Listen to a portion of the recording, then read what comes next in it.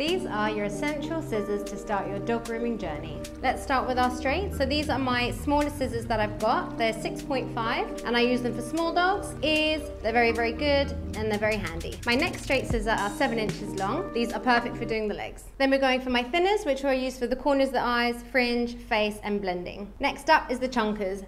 Not a necessity, but they're great for when you want more confidence and you want to take a load off rather than using a straight scissor. If you have any more questions, let us know.